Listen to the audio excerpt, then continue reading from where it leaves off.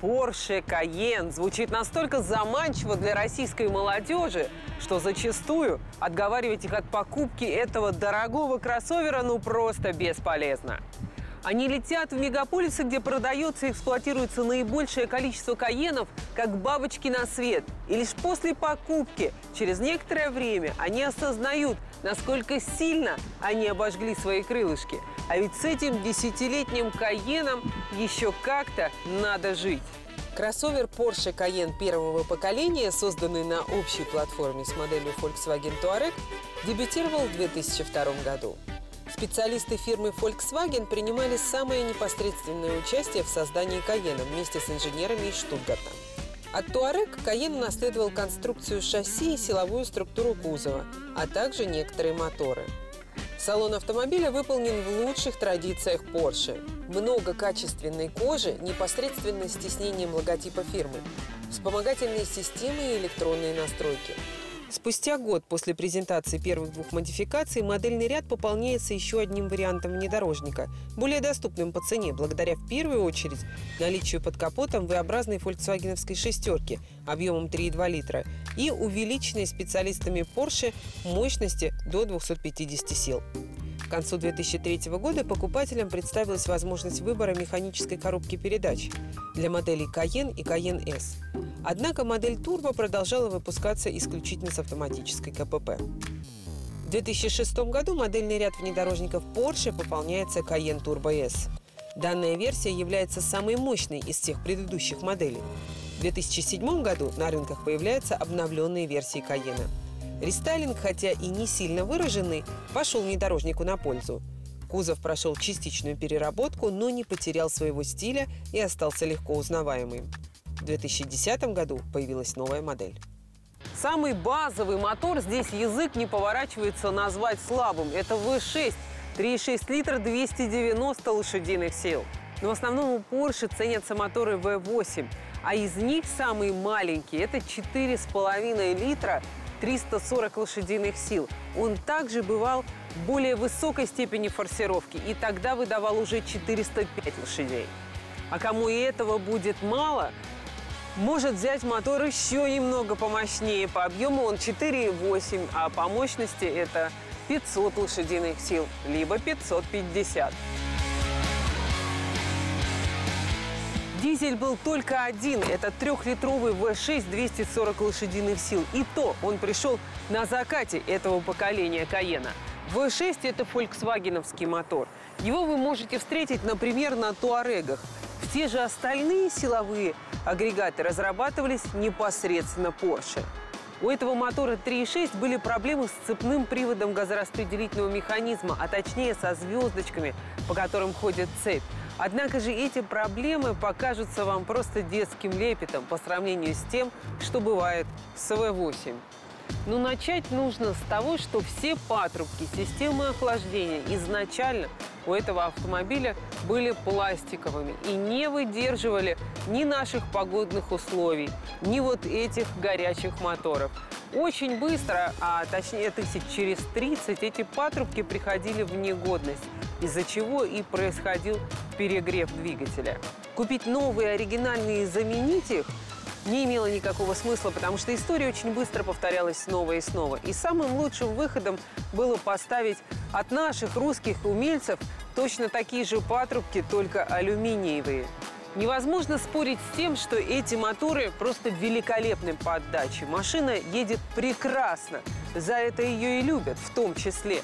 Но также невозможно спорить с тем, что в наших условиях с не очень хорошими и не очень качественными горюче-смазочными материалами, а также с погодными условиями, а также с постоянными пробками и перегревами.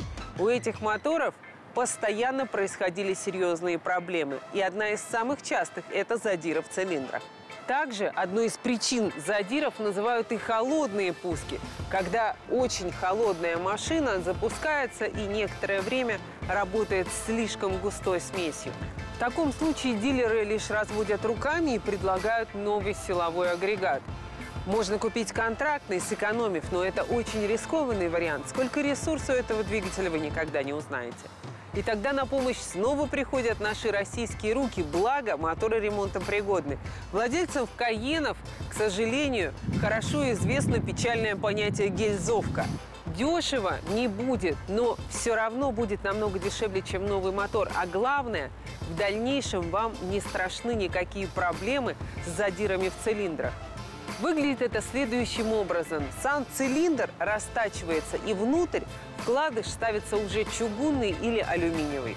На этом фоне выход из строя лямбда-зондов, свечей, катализаторов покажется вам просто детскими шалостями.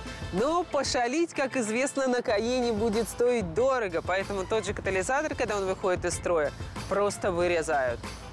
В идеале, в идеале, я бы взяла дизельную машину. Но, к сожалению, они пошли только с 2009 года. И здесь малым бюджетом, например, в полмиллиона рублей, ну никак не отделаешься. Хотя дизель хорош всем, в том числе и малой мощностью. Не придется платить бешеный транспортный налог.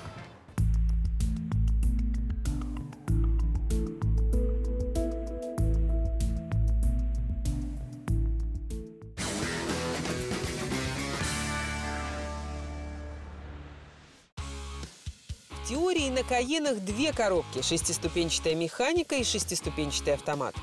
Механику на нашем рынке не встретишь, а если и вдруг вам попадется такая машина, лучше отказаться от покупки, так как сцепление у столь мощного и тяжелого авто просится под замену каждые 20-30 тысяч, а стоит очень недешево.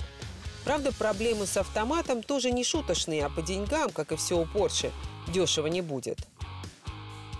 Одно из самых частых явлений у этих коробок передач текут сальники. Что же касается масла, по регламенту производителя его вроде бы не нужно менять.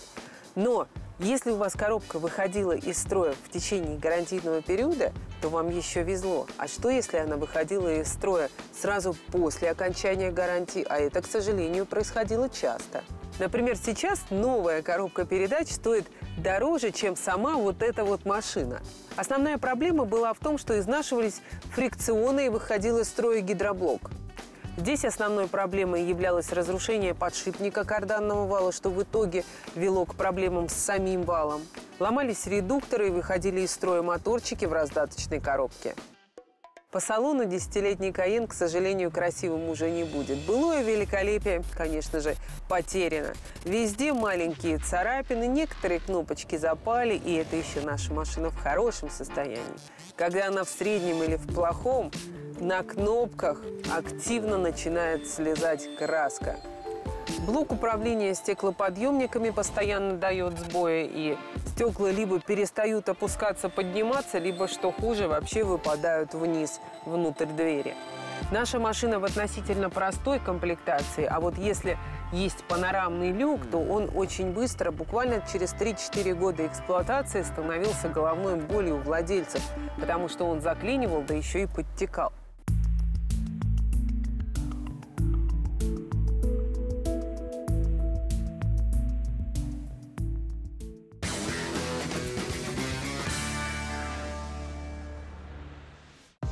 В арсенале Каен постоянный полный привод с блокируемым несимметричным межосевым дифференциалом и понижающая передача. Подвеска полностью независимая. Впереди на двойных поперечных рычагах, сзади многорычажка. Большинство поддержанных Porsche Cayenne оснащены пневмоподвеской. Обычно, когда у поддержанной машины есть пневмобаллоны, это бомба замедленного действия, причем очень дорогая. Но здесь Сами пневмобаллоны в металлических корпусах, поэтому они большой проблемой не являются. Зато вот датчик положения кузова как раз-таки проблемой является, потому что он выходил из строя очень часто. И из-за этого э, в дальнейшем постоянно работал компрессор, потому что он не понимал, в каком положении находится кузов.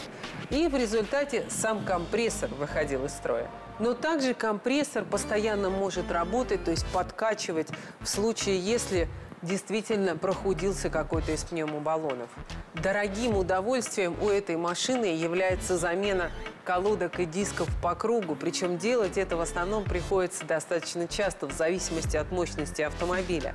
А, иногда у некоторых мощных каенов а, колодки и диски приходилось менять чуть ли не раз в 30 тысяч Втулки и стойки стабилизаторов здесь служат, ну, достаточно средний пробег. То есть, э, например, раз 30-40 тысяч э, стоит менять втулки, а стойки живут и того подольше. Далее, ближе к стам, вы, скорее всего, попрощаетесь с сайлент-блоками рычагов и шаровыми опорами. И, кстати, здесь в задней подвеске рычаги идут вместе с шаровыми опорами.